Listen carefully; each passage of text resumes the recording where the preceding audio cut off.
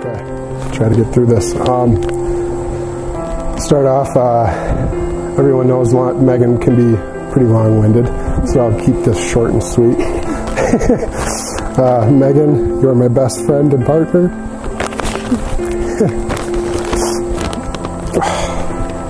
you came into my life. I realized that what I always thought of as happiness couldn't compare to the joy loving you brought me. The man that still stands by me today. I tell you this all the time, but it never gets old. You are my best friend.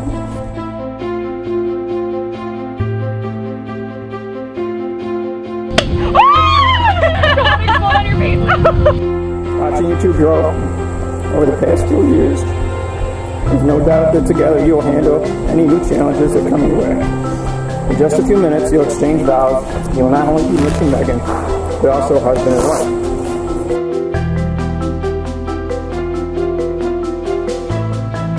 Megan comes up in our conversation and says, Dad likes to hunt fish and she doesn't like to shop. I said, Mitch, it doesn't get any better than that.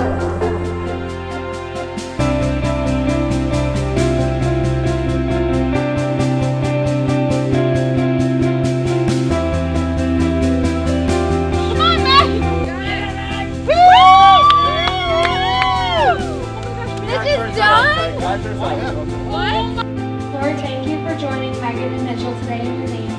Thank you for creating two people who love each other so faithfully and genuinely. I've witnessed Mitch's love and support for Megan shine in so many different lights over the past seven years, and it's obvious that these two are meant for one another.